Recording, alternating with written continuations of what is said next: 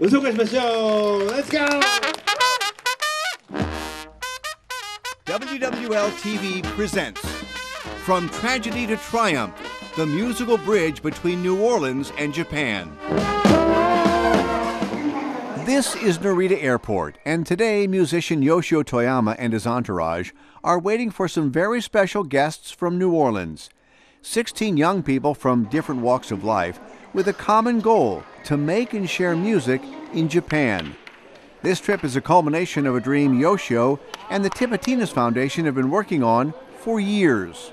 For the young New Orleanians, most of them in their teens, this is the trip of a lifetime. Eight students from O. Perry Walker High School, under the direction of Wilbert Rawlins, and eight Tipitinas interns with their mentor, Donald Harrison. They've all come to Japan to share a gift that'll bond people from two different worlds together with music, New Orleans music.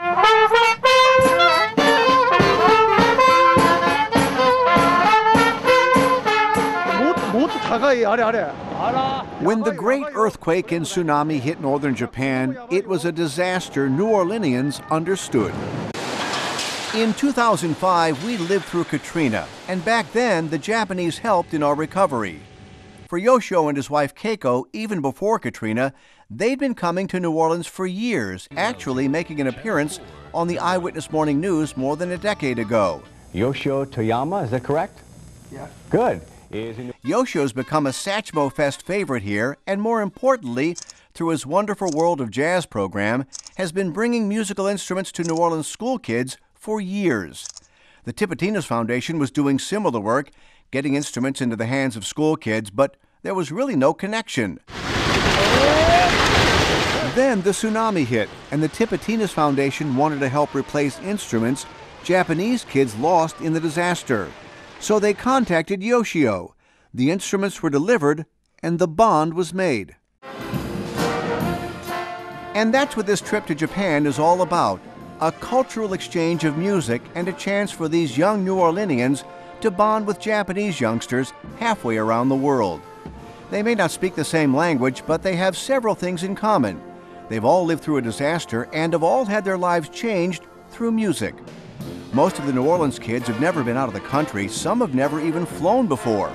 But now they have a chance to be ambassadors of New Orleans music in a foreign land. My name is Jerron Williams. It's Devin Lee. Jordan Johnson. George Bob Brown. Terrence Malcolm. Joseph Knox. It's Julius Hill. Justin Walker. John Michael Bradford. It's Ruben Weber. Raymond Weber. Max Moran. William Hightower. Daryl Staves Jr. Joe Dyson. It's Hunter Bergamy. The first taste of their new title as music ambassadors will come the next day after a two hour bus trip to northeastern Japan. Behind me is part of the port city of Ishinomaki on the Japanese Pacific coast. It was a thriving neighborhood at one time, but the tsunami and earthquake wiped out thousands of homes here. On this day, the kids from New Orleans will be coming here to try and give these people some relief through their music. When the great tsunami hit Ishinomaki, it caused indescribable destruction. More than 3,000 lives were lost in this city, and over 500 people are still unaccounted for. The relentless waters ran boats and cars into this bridge, and it was here where the boys' bus stopped and where their music would hopefully lift the spirits of these people who had been through so much. But before they performed, they'd rehearse with a local band, the Ishinomaki Junior Jazz Orchestra. And since this is their first meeting with people from an area so ravaged by the tsunami, there was much in common for the boys from New Orleans and their Japanese counterparts. There was clearly a language barrier, but definitely a connection, summed up very well by John Michael Bradford. It's a true honor to be able to play for these uh, other musicians, and it's a great experience to hear, you know, um, the younger generation come up and play music um, with a future of music and it's good to keep the music going alive, and uh, it's awesome that we can relate through music and we can understand each other. While the interpreter spoke to the Japanese kids in their native tongue, John Michael showed off some of the Japanese he learned. Ohio. Arigato.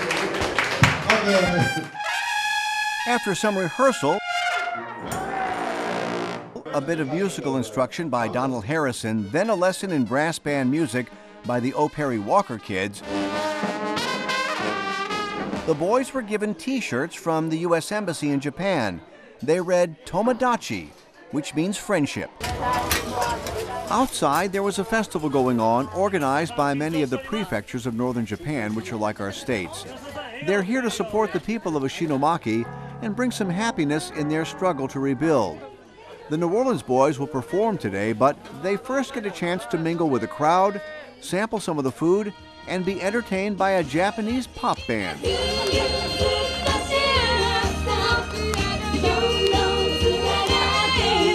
And when two of the O. Perry Walker students made their way to the front of the stage, they stole the show.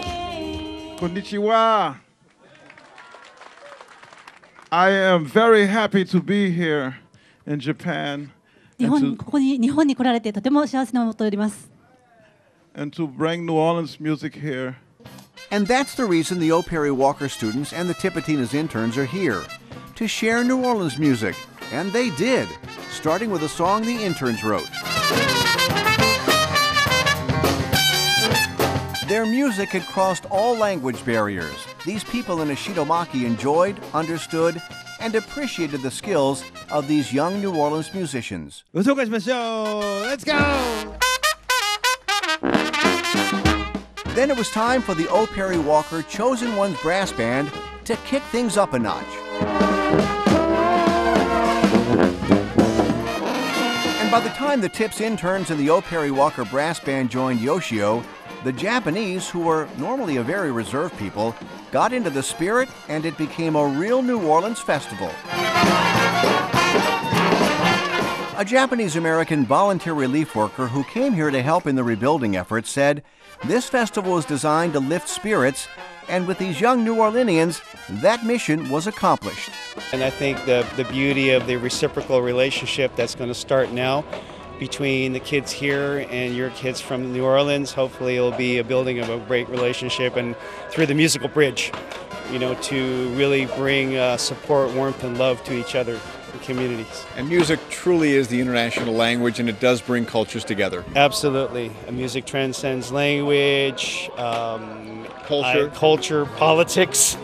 It is the best unifier to bring together the human spirit together. And so they made people in, in Ishinomaki happy today. Absolutely. Everybody was elated. I think uh, they were taken a bit, a bit by surprise to the emotion and the enthusiasm, but once everything came together and started to go, everybody jumped right in and got into it. It was a wonderful day for the young ambassadors from New Orleans and for the people of Ishinomaki. On this day, everybody spoke the same language. For the 16 young New Orleanians on their musical adventure here in Japan, another day for them began with a bus trip to the city of Kesennuma, another area devastated by the Great Tsunami. Kesennuma is a thriving port city, famous in Japan for its fishing industry. Here in Kesennuma Bay, massive fishing boats line the shore, and from the looks of things now, it's hard to believe just how much recovery has happened here since the 2011 tsunami roared through this city. When the tsunami hit Kesennuma Harbor, the surging wall of water ripped ships from their moorings, carrying them on shore. Then floodwaters began pouring into the city. In all, more than a thousand lives were lost here, and hundreds more are still unaccounted for. Here in the city of Kesennuma, we're about a half mile or so from the harbor. When the tsunami hit here, it roared through this area. There's nothing left but slabs where houses once stood. And behind me, a massive ship that stands as a monument to what happened to this town. The young New Orleans musicians have come to Kesennuma mostly to meet with the Swing Dolphins. They're a group of young children the Tipitinas Foundation supplied with new instruments to replace the ones they lost in the tsunami. On this day, they're getting a first hand look at the destruction in Kesennuma. At the ship that's been left as a monument, they meet a man whose business was here in the area where the vessel now stands. He tells the boys his grandchild plays trombone with the Swing Dolphins, and he's grateful they're here. The boys are clearly moved by the magnitude of the destruction here, looking at the cars and parts of buildings still under the massive ship. The foundation is probably with someone's house or something, a store or something. You see somebody's car behind right, you. car. And to pay their respects, New Orleans style, they've decided to play a dirge to honor the dead. Just hearing this music, just, you know, like I said, music is, is what emotions sound like. You know, just hearing it, it's a sad song.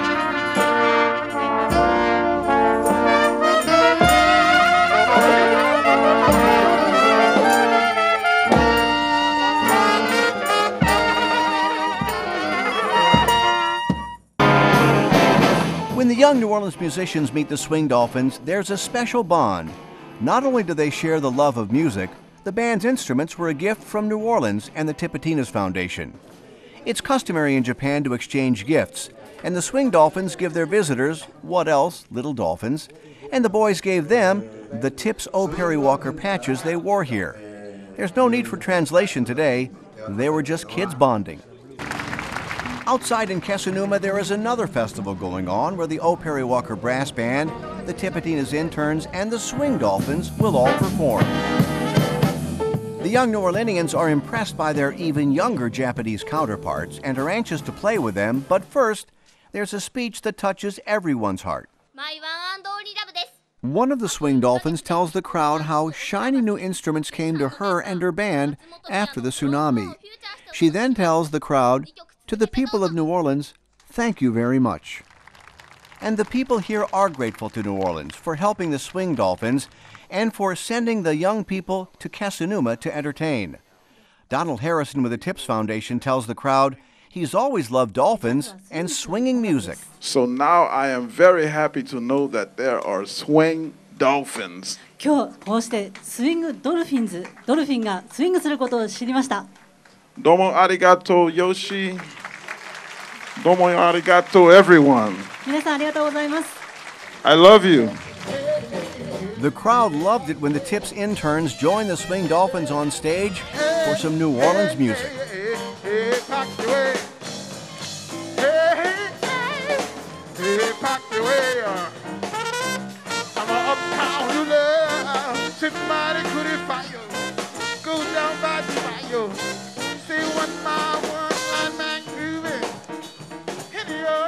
If you wonder, did a bit of New Orleans coming to Kesennuma touch any lives?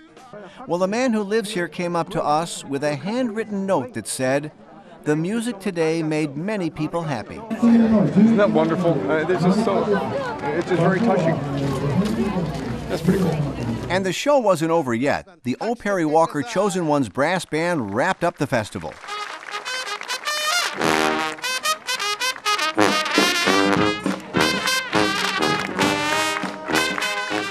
As good as these young New Orleans musicians made the people of Kesennuma feel, it went both ways. Yeah, I feel that the band did an excellent job uh, entertaining the people and uh, playing our best, playing what we do, what we do.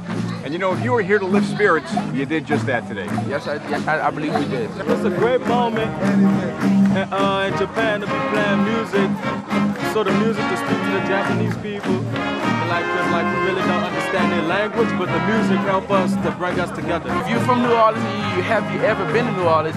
If you see, if you see a typical brass band, you, you could be the, the most quietsome person, but if you hear that music, you're gonna tap your feet, you're gonna do something. You're gonna do something. The music just speaks to you. On this day, the music spoke to everyone.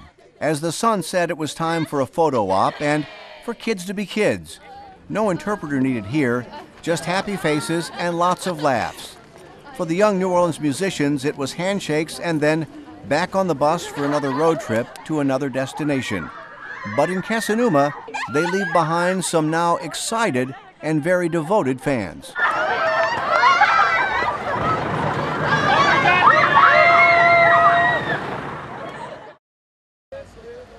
When the young New Orleans music ambassadors get to the city of Sendai, they have several hours of free time. Their schedule's been pretty hectic over the past several days with train and bus trips, loading and unloading their instruments, and lots of rehearsals and concerts. So, some free time in a big city with plenty to see is a real treat. And while they're soaking up the culture, these are still American teenagers. What Japanese delicacy did you have for lunch? McDonald's. You come all the way to Japan, and where do you want to go? That's just today, though, Eric. That's just No, they've had a couple of Happy Meals. We tried a new burger. It was a teriyaki burger. Oh, oh Sendai is a large city with a big shopping area and all kinds of foreign sights these young New Orleanians can take in. Although much of their shopping is centered around things they already know. Some of the boys bought iPad and iPhone cases as their souvenirs from Japan, while others visited a music store. While it's hard to tell now in downtown Sendai, this city was hit hard by the earthquake and tsunami. This was the scene inside the newsroom at Sendai TV on the day the earthquake hit. It was terrifying. The damage was far greater, though, on the outskirts of Sendai when the tsunami waves came crashing in. In all, more than 700 people lost their lives in Sendai. The New Orleans musicians have two important stops in this city. The first, a concert with these young Japanese students, the Bright Kids. Many of them lost their instruments in the tsunami and got new ones thanks to the Tipitinas Foundation. So the concert they're performing on this night has a lot of meaning. For these young musicians who don't speak the same language and grew up in totally different cultures, there's really no difference at all when they play music.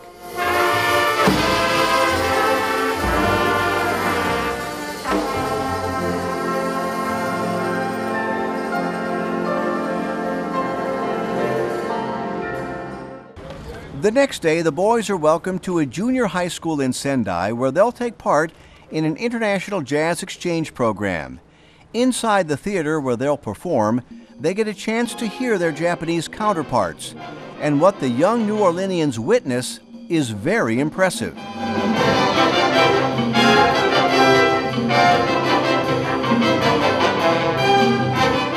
Their performance showed talent and precision well beyond their years.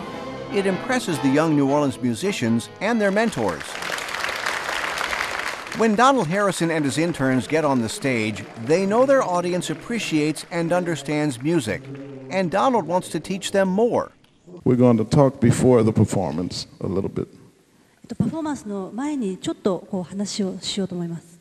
and say that jazz is about instant composition. which is a bit different from the junior high jazz orchestra's precision number.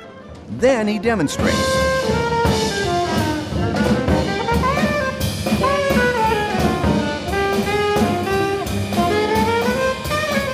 Young Japanese musicians listen very carefully but seem a bit reserved and very disciplined. So when the O. Perry Walker Brass Band starts playing, it's anybody's guess as to how these Japanese students will react. But music is magic.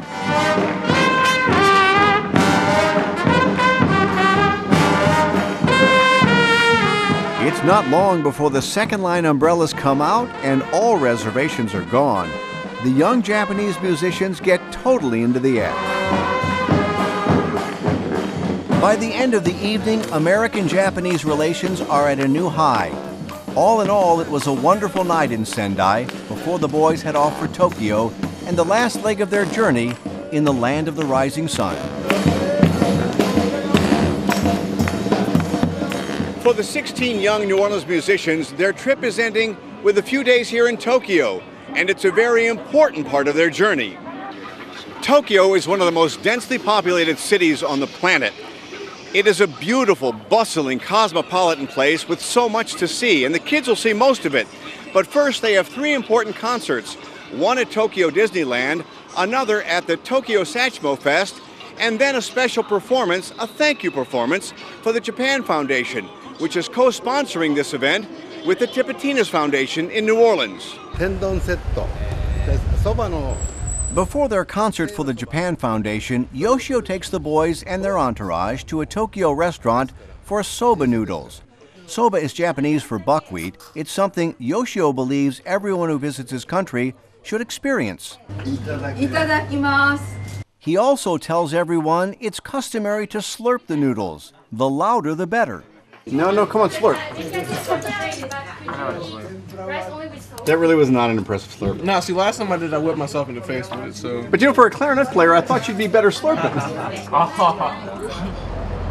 That night, as the Tokyo skyline lights up in this beautiful city of more than 13 million people, the New Orleans musicians are getting ready to perform a concert to thank the Japan Foundation for hosting them. For Wilbert Rawlins of O. Perry Walker, it's a time for reflection. He has great hope for these young men from his school and believes the work he does through music will help keep these kids and others out of trouble and on the road to a better life. Statistics say that a child, uh, children make the worst mistakes in their lives between the ages of between the, the ages of 12 and 18, and between the times of four and eight. That's when most crime is committed with the young children because they're out of school. Most of their parents are probably still at work. You know, they, they, there's a lot of free time there. So the marching band or the band, it gave us something to do. It gave us a person, uh, by the way, Walter Harris, Herman Jones, Joe Mills, a person that was sort of like a drill instructor. He said no, he meant no. And music, he believes, makes a difference in young lives, keeping kids off the streets and with a reason for hope. I will go on record. I will say, yes, I'm in the business of saving lives. That's what I need to do. I need to say it's, it's too many of us getting killed. There's too, too many of us killing each other. It's just too many of us. And if I can do my part and I can save the, the 10% of a school, because 10% of a school's population, those children, they, they fall in love with music, they fall in love with band. That night on stage, the Tipitinas interns and the O. Perry Walker Brass Band represent their city and country wonderfully as goodwill ambassadors from New Orleans.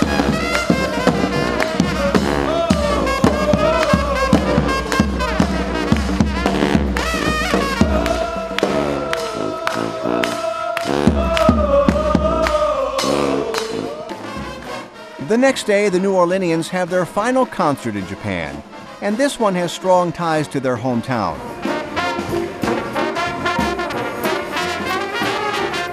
Their mission to strengthen the ties between two cultures has been a complete success. So it's fitting that this finale is at Tokyo's 32nd annual Satchmo Fest.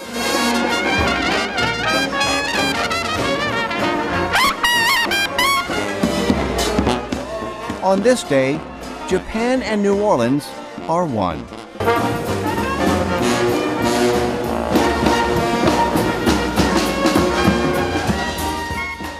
When Wilbert Rawlins said, Too many of us are getting killed, no one could have imagined how prophetic those words might be. Several months after the Japan trip, one of the O. Perry Walker students, Justin Walker, was indicted with two other teens on second degree murder charges in the death of a 17 year old boy. As troubling as that news was, the other 15 young men who made the trip to Japan have all done remarkably well. Two of the O. Perry Walker students graduated with honors and received college scholarships. The other five boys did extremely well in school, advancing to the next grade, and even won a brass band competition. All the Tipitina's interns have had much success in school and on the professional level. And four of the young musicians were awarded scholarships to the summer program at the prestigious Berklee College of Music in Boston. And tomorrow, the Kesennuma Swing Dolphins will arrive here for concerts at Tipitina's, the Satchmo Festival, and an appearance on the Eyewitness Morning News. The musical bridge between New Orleans and Japan has been completed.